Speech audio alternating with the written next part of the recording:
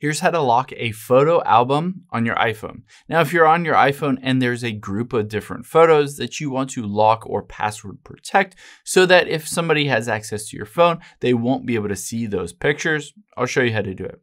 Now, the first thing we're gonna do is hop into your Photos app here, and we're gonna hit select here, and we're gonna select, say, a few different photos.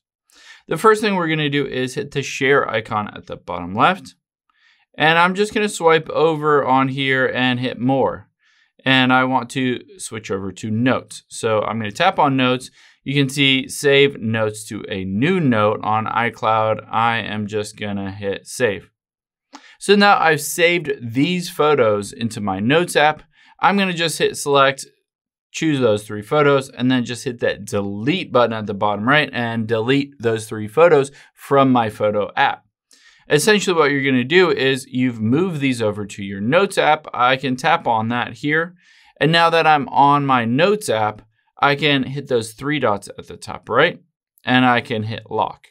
So just like that, you can see it enables the lock. And if I go back, you'll be able to see basically at the very top that it is locked from anybody being able to see it. They'll have to tap on it and use the Face ID to unlock it to be able to see that specific note with all those photos. So it's not technically an album, but essentially you've removed all those photos from your Photos app and then you've locked them into your Notes app.